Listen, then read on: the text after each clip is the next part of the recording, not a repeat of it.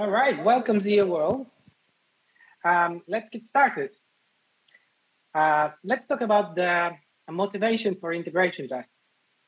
Uh, well, unit tests are a good idea, but if you've um, been doing programming distributed systems, you know that uh, nothing gives you greater peace of mind than the integration test. Also, integration tests don't change if the implementation changes, so you can rewrite your code safely.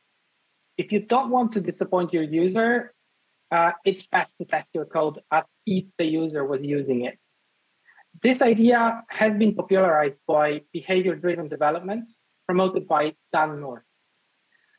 So, why aren't we all running the right integration tests? Well, because they are hard, or at least historically, integration tests were hard to write. However, there is a light at the end of the tunnel. It was first revealed to me by two co-founders of London School of TDD, Steve Freeman and Nat Pryce, in their great book, Growing Object-Oriented Systems Guided by Tests. They discuss a number of useful techniques of writing integration tests, but today I'd like to focus on one of them, namely hexagonal architecture. Before going any further, let me quickly tell you about myself. I've been in uh, the industry for over 25 years. I spent almost 20 years in uh, the city of London designing and implementing software for financial institutions. I'm passionate about good practices and love languages with high abstraction like Scala, Elm, or Unison. I have also presented a dozen of events and conferences and contributed to open source. My biggest contribution was work on Akka Camel, I have also written uh, the first asynchronous monad-based client for Amazon DynamoDB. Lately, uh, I've been writing algorithms that allow privacy-preserving analysis of data distributed in heterogeneous databases. Okay, let's take a look at the diagram of the hypothetical system that allows the user to run queries that involve multiple data sources. For the purpose of this presentation, the green hexagons in the middle are considered the application layer. The blue ones are external components, and the red ones are considered infrastructure. The dark blue cylinders on the right are external data sources, maybe even hosted in a different cloud. When the user runs a query, the UI sends the message via message pass to the red, the red hat. Um, this message gets picked up by the brain that figures out how to run such a query and then sends a message to connectivity layer for execution. Connectivity layer talks to the warehouses and sends partial results to the combinator. The combinator merges the data and sends the result back to the user via the message path. Today, we're going to focus on how can we test the application layer, namely the brain, the connectivity, and the combinator combo. Before we talk about the integration test, let's come back for a moment to hexagonal architecture. To cut the long story short, hexagonal architecture simply means that each component has the core of its logic in the center of the component, and it talks to its peer components via an adapter layer. This means that we can easily test each component by substituting its peers adapters with fakes or simplified versions. The main enabler for the integration testing is the fractal architecture or fractal nature of the hexagonal architecture. Each component itself can be built from smaller hexagons, and those smaller ones can consist of even smaller ones. This way, we can choose an arbitrary level of granularity for our integration tests. We can test one level above unit tests, but we can also test at the multi-service level by composing several services into one test fixture. Let's take a look at some examples. Here, uh, we have the multi-service test, test fixture that combines brain, combinator, and connectivity services. It also stops less important components such as audit or quotas, and it fakes the directory service, which is crucial in testing, but we would like to prepopulate it with test data. We are also pushing out the auxiliary platform services and message bus to the Docker container so we can run them on the developer's machine or on the CI CD node. We are keeping the real warehouse to make the testing more realistic, but we will use the test schema and pre-populate it with test data. Another scenario is almost identical to the previous one. Here, we are using the embedded database in order to make the test self-contained and way faster. Okay, let's see how we can implement uh, the integration test in Zio. This is the level of abstraction I was looking for. It speaks in the language of the user, and it is flexible enough so I can provide different instances of the test fixture depending on which scenario I would like to test. I can also provide test data, so my test is self-contained and isolated from other tests. In the top example, I want to run the test against the real database.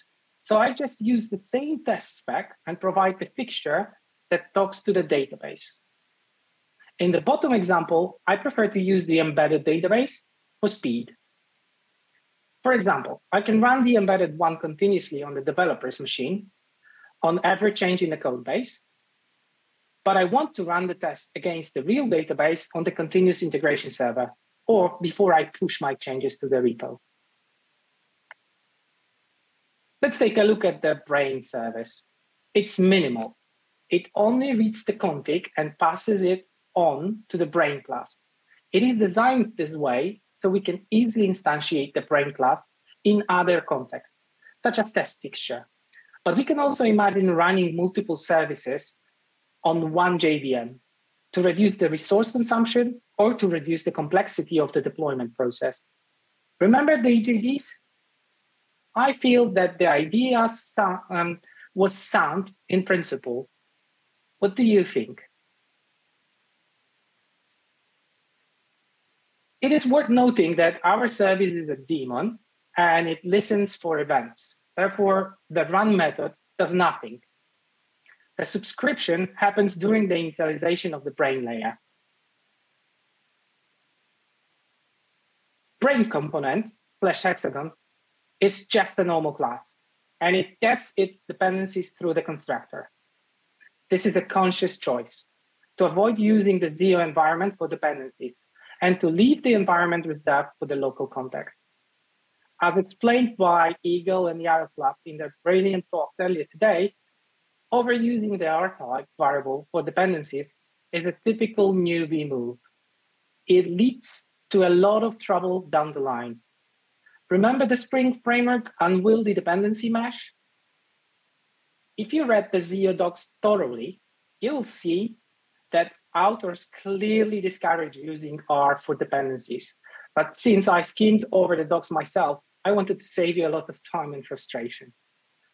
I would also like to thank Adam Warski for bringing this issue up with John DeGoes and getting it clarified, clarified once and for all. Now let's move to the config. Again, it was the conscious choice not to make the config part of the implicit dependencies, as we wanted to control which hexagon uses which bit of the configuration precisely, so we can safely instantiate each of them independently knowing exactly what settings they need to run. That's why each hexagon has the config case class in its own namespace. For example, messagepath.config or directory.config. And finally, we are using the familiar Scala apply method as a smart constructor for the layer. It feels neater that way than calling it a layer. Since we are 100% in Zio, so the layer is just a smart way of constructing things. That's what apply method is for, isn't it? Here is how we construct a test fixture. We have a smart constructors creating message path client, detecting the Docker port, and the in-memory directory service with some test data. The message path is shared amongst Brain, Combinator, connectivity service, and the test fixture. There is a neater way of constructing layers. The make macro will figure out what depends on what, so you only need to list all the dependencies. It's convenient. But remember the Spring Framework grant? I'm worried that if the list gets too long, it might get out of hand and hinder the fractal nature of the system. What do you think?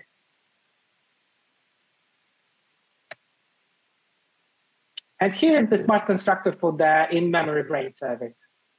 Since we want to fake the directory service and possibly message bus, that in-memory layer requires those dependencies.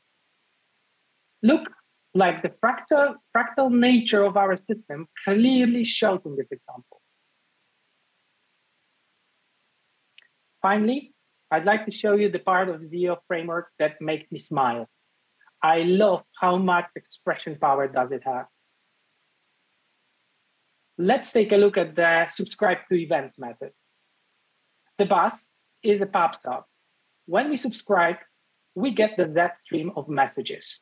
Then we add a safety mechanism in case the connection stalled to kill the stream if we don't get, any message within some time.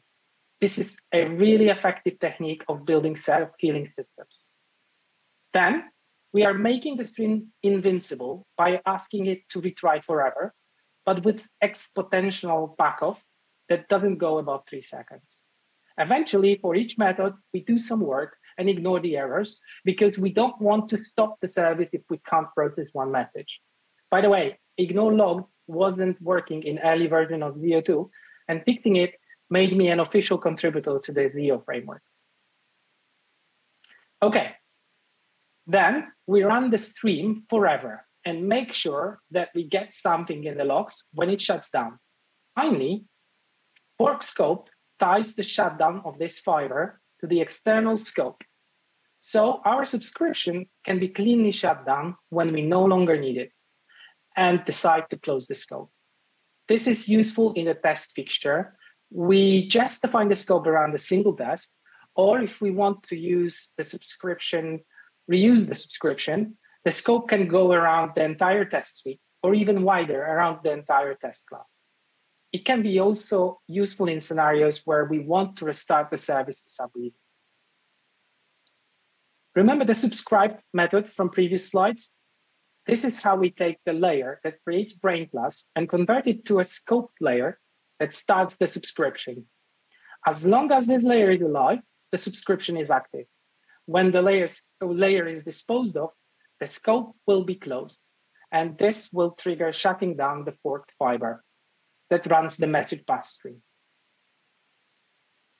This is all for today. Slides from this presentations are, presentation are available on Speaker Deck. The code is on GitHub. You can find me on LinkedIn or Twitter. And if you'd like to work with me on distributed systems using Zio, please drop me a line. Thank you. It was a pleasure.